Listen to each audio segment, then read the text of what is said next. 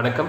Doctor Viswanathan பேசுகிறேங்க நம்ம daily இந்த சேனலில் ஒரு மருத்துவ குறிப்பீடு பார்க்குறோங்க இன்னைக்கு யூரின் யூரினோட கலரில் வச்சு ஏதாச்சும் பிரச்சனைகள் இருக்கா? அதை கண் எப்படி கண்டுபிடிக்கிறதுன்றது பார்க்கலாங்க யூரினோட நார்மல் கலர் வந்து பார்த்தீங்கன்னா ஸ்ட்ரா எல்லோ. அதாவது வெளுத்து போன ஒரு எல்லோ கலருங்க. லேசான மஞ்சள் நிறமுங்க. ரொம்ப மஞ்சள் இல்லை ரொம்ப வெண்மை கலந்த மஞ்சள் நிறமுங்க. இது வந்து நார்மல் கலர். இதுவே வந்து உங்களுக்கு ரொம்ப டார்க்காக இருக்குது ரொம்ப டார்க் எல்லோவாக இருக்குது அப்படின்னா என்ன குறிக்குது அப்படின்னு பார்த்தீங்கன்னா பேஷண்ட்டுக்கு வந்து தண்ணி ரொம்ப குறைவாக குடிக்கிறாங்கன்னு அர்த்தவங்க ஸோ தண்ணி அதிகப்படுத்தணும்.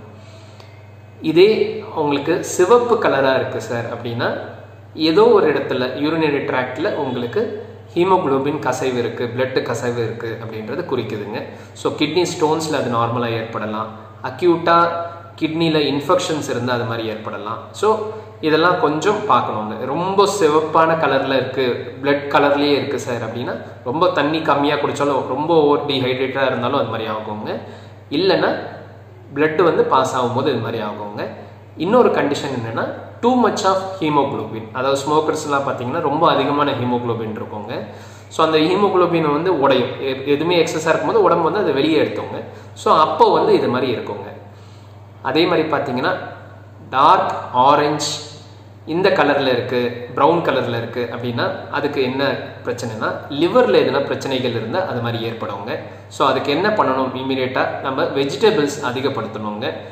ஜங்க்டு ப்ராசஸ்டு ஃபுட்ஸு இனிப்பு சாப்பிட்றது இதெல்லாம் வந்து குறைச்சிக்கிட்ட அந்த கலர் வந்து மாறுறது பார்க்கலாங்க. அடுத்தது யூரினில் நம்ம கவனிக்க வேண்டிய விஷயம் வந்து அது நுரையா போகுதா அப்படின்றது பார்க்கணுங்க. ரொம்ப நுரையா போகுதுன்னா அதில் புரோட்டீன் வந்து லீக் ஆகுதுன்னு அர்த்தங்க. கிட்னி வந்து புரோட்டீனை லீக் பண்ணாதுங்க. ரொம்ப மாட்ரேட் மைல்டு ட்ரேஸ் குவான்டிட்டிஸ் தாங்க இருக்கும். அதிகமாக போச்சு அப்படின்னா கிட்னியில் ஏதோ ஒரு பிரச்சனை இருக்குது அப்படின்றது அர்த்தங்க. அதை உடனே நம்ம டாக்டர் கிட்ட போய் பார்த்து அது என்ன பிரச்சனைன்றது டெஸ்ட் பண்ணி அதை சரி பண்ணிக்கிறது நல்லதுங்க. வணக்கம். நான் டாக்டர் விஸ்வநாதன் பேசுகிறேன் சேனல் பிடிச்சிருந்தா சப்ஸ்கிரைப் பண்ணுங்கள்